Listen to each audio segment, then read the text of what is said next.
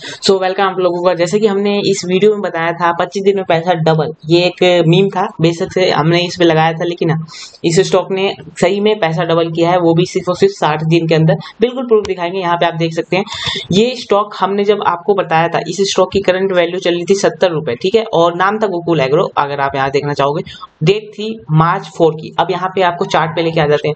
सबसे पहले ये रही हमारी डेट जब हमने ये बताया था ये पूरा एक टाइम करेक्शन जोन या स्टेबल जो जोन होते हैं स्टॉक्स के कंफर्टेबल जोन वहाँ चल रहे थे। यहाँ से ये स्टॉक ने डायरेक्ट रनअप दिया था, पूरा इसका हाइट था 136 का। 136 के ऊपर अगर मैं परसेंटेज कैलकुलेट करूँ तो 95 परसेंट का गेन मिलता है। जिन्होंने भी लिया होगा, ये, उन्होंने इतना गेन कमाया होगा। और हालाँकि ये ये स्टॉक पच्चीस दिन में तो नहीं, लेकिन हाँ इकसठ दिन में यहाँ तक पहुँचा था और अभी ये करेक्शन जोन में है। तो मैं आपको चाहता हूँ कि यहाँ पे आज दोबारा से इस स्टॉक के ऊपर हम पूरी तरीके से एक बार देखें क्या क्या कंडीशंस और यहाँ पे बनती हुई नज़र आ सकती है क्या क्या चेंजेस आए हैं। उस समय साठ दिन के बाद अभी क्या यहाँ पे सीनेरियो नज़र आता है।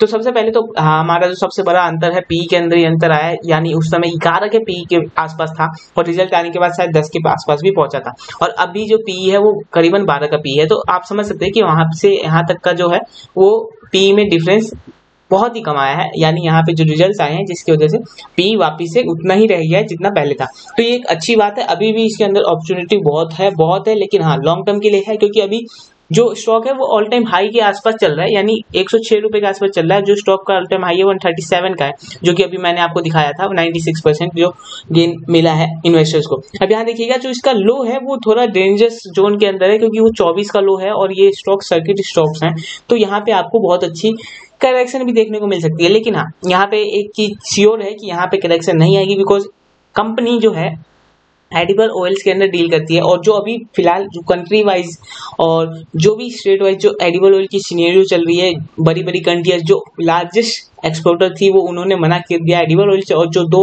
सबसे ज़्यादा एडिबल ऑयल प्रोड्यूस कर सकते थे उनका, उनके अगेंस्ट अभी वॉर चल रहा है। तो अभी फ़िलहाल एडिबल ऑयल कंपनियों के लिए अभी किसी भी तरीके की कोई करेक्शन मुझे देखते हुए नज़र नहीं आ रही, ना ही अर्निंग्स के अंदर, ना ही स्टॉक्स के अंदर। यहाँ देखिएगा, अभी स्टॉक के एनालिसिस पे आएँगे स्टॉक में आपको क्या करना है। लेकिन मार्च के क्वार्टर के रिज़ल्ट आ चुके हैं। आई थिंक उस समय हमने कवर नहीं किए थे तो दो हज़ार सात सौ इकसठ करोड़ का रिज़ल्ट आया था, जो कि पिछले वाले से बेटर है। और 58 करोड़ का प्रॉफिट आया था, जो पिछले वाले से ऑब्वियसली बेटर है। अगर मैं ईयर ऑन ईयर भी देखूँ तो ईयर ऑन ईयर बहुत ज़्यादा है। 19 का 58 प्रॉफिट कर लिया और दो हज़ार छह सौ अस्सी का कंपनी ने प्रॉफिट जो था, वो भी इंक्रीज किया है। ज़्यादा इंक्रीज नहीं हुआ सेल्स लेकिन हाँ यहाँ पे प्रॉफिट इंक्रीज होता हुआ नज़र आया। कितना हुआ है, अभी आपको यहाँ देख लेंगे। इस साल कंपनी का चौबीस का जो सेल्स है, वो इंक्रीज हुआ है, जो कि ज़्यादा नहीं है। लेकिन हाँ यहाँ पे कुछ इंश्यूज हो सकते हैं कंपनी के साथ, लेकिन यहाँ वहीं पे कंपनी की अर्निंग जो है वन सेवेंटी सिक्स परसेंट की तरीके से इंक्रीज हुई है, जो कि बहुत अच्छी ग्रोथ मानी जा सकती है। कंपनी के अगर प्रमोटर्स की बात करें तो कंपनी के प्रमोटर्स ने यहाँ पे मार्च क्वार्टर के अंदर होल्डिंग्स इंक्रीज की है। ये दिखाता है कितना कॉन्फिडेंस है कंपनी के प्रमोटर्स को। और अगर ये मार्च क्वार्टर के अंदर इंक्रीज हुआ है तो ये ऑलमोस्ट ऑलमोस्ट यहीं पे आपको सत्तर के प्राइस के आसपास इंक्रीज होता हुआ देखने को मिला होगा। अब यहाँ पे देखिएगा सत्तर के आसपास कंपनी के प्रमोटर खुद ही माल उठा रहे हैं तो माल बेच कौन रहे तो सबसे पहले बता दो इन्वेस्टर्स ने यहाँ पे अपनी पोजिशन हल्की की है। रिटेल इन्वेस्टर ने, लेकिन हाँ अभी भी यहाँ पे कंपनी में बहुत अच्छी ग्रोथ और प्रोस्पेक्ट जो आगे के हैं, वो बाकी है, क्योंकि एडिबल ऑयल की शॉर्टेज ये कंटिन्यूस चलती रहेगी, जिस तरीके की ग्लोबल शॉर्टेज चल रही है, जिस तरीके की ट्रेड वॉर्स चल रही है, और जो वॉर सिचुएशन है, उनकी वजह से ये शॉर्टेज मेंटेन रहने वाली है कुछ सालों तक। यहाँ पे आप देखिएगा जो स्टॉक अभी करेक्शन में आ रहा है, अभी फ़िलहाल मैं आपको एक लेवल्स आपको बता दूँ। सबसे ऊपर का जो लेवल्स है, वो तो आपका सेम रहेगा 136 का, जो आपका ऑल टाइम हाई है, ये लेवल सेम रहेगा। लेकिन हाँ मैं वो बोलूँगा कि आपको वो लेवल्स नहीं देखने, आपको नीचे की साइड लेवल्स देखने हैं। जो नीचे की साइड स्टॉक अगर आ रहा है तो नाइनटी पे आप ज़रूर अपना एक स्टॉप लॉस ज़रूर मेंटेन कीजिएगा। बिकॉज़ यहाँ से नीचे अगर करेक्शन होता है तो ये आपके सेवेंटी रुपीज़ के आसपास वापिस से जाता हुआ नज़र आएगा। इसलिए मैं आज ये वीडियो बना रहा हूँ कि हाँ स्टॉप लॉस अपना मेंटेन कीजिए।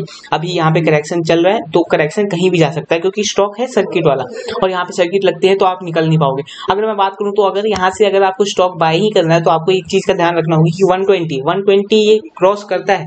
उसके बाद ये अपनी बुलिश जोन में आ सकता है, ऊपर की साइड तो वहाँ पे आप इस स्टॉक को ऐड करते हुए चल सकते हैं। लेकिन ये बात ज़रूर याद रखिएगा स्टॉप लॉस आपका मेंटेन होना चाहिए। 99 का स्टॉप लॉस मैं दे रहा हूँ, लेकिन अगर आप 93 का स्टॉप लॉस भी रखना चाहते हो, जो कि इस कैंडल का लो है तो आप वहाँ पे भी रख सकते हो। लेकिन हाँ स्टॉप लॉस ज़रूर रखिएगा इस स्टॉक के अंदर। और ये स्टॉक में अगर आपको नीचे की साइड करेक्शन मिलती है तो ज़रूर अपनी क्वांटिटी इंक्रीज कीजिएगा डबल कर लीजिएगा, बेशक से बेच लीजिए, अभी उसके बाद आप वहाँ पर डबल कर सकते हैं। एवरेज प्राइस आपका और कम हो सकता है। अब यहाँ पर बता दू एमएससीडी के अंदर क्या करेक्शन चल रही है? एमएससीडी में मूवमेंट आपको पता लग जाएगी तो अभी फ़िलहाल जब हमने स्टॉक दिया था ऑलमोस्ट यहाँ पे बुलिश क्रॉस ओवर हुआ था और वहाँ से ये ब्लू क्लॉस बोर्ड हुआ था, वहाँ से अपना अच्छा खासा गेन यहाँ पे मिला 100 परसेंट के आसपास। उसके बाद अब यहाँ पे जो करेक्शन आ रही है, वहीं से जो ऑल टाइम हाई जो हमारा था, वहाँ से करेक्शन आती हुई नज़र आ रही है। अभी किसी तरीके की रिवर्सल यहाँ पे नज़र नहीं आ रही। वापिस से रिवर्सल होने की कोशिश थी, लेकिन वापिस से यहाँ पे करेक्शन मौजूद है। तो ज़रूर आप इस स्टॉक को फॉलो कीजिए। अच्छे फंडामेंटल से अगर आपको पूरी वीडियो देखनी है कि आगे कंपनी करती है तो ये वीडियो मैं ज़रूर रिकमेंड करूँगा आपको कि ये वाली वीडियो ज़रूर देखिए। और हाँ अगर आपने चैनल सब्सक्राइब नहीं कर रखा तो बिल्कुल चैनल सब्सक्राइब कर लीजिएगा। ये इंपॉर्टेंट है आप लोगों के लिए भी, क्योंकि यहाँ पे थोड़ी बहुत नॉलेज आपको मिल जाती है जो हमें मार्केट से रिलेटेड है। और हम आपको कुछ स्टॉक्स बताते हैं जो कि मल्टीपैगर्स हो सकते हैं फ्यूचर में, और अभी भी आपके पास बहुत अच्छे स्टॉक ग्रोथ मौजूद होंगे, क्योंकि करेक्शन चल रही है मार्केट में, जिसकी वजह से बहुत सारे स्टॉक्स होंगे जो हम अपने चैनल पे ला रहे हैं, जो कि अच्छा खासा रिटर्न आपको दे सकते हैं। ज़रूर चैनल को सब्सक्राइब कर लीजिए, और आने वाली अधिक वीडियोस के लिए आप अपने दोस्तों को रेकमेंड कर सकते हैं, या हमारे चैनल पे एक ज्वाइन बटन है, उसका यूज़ कर सकते हैं। Thank you watching have a great day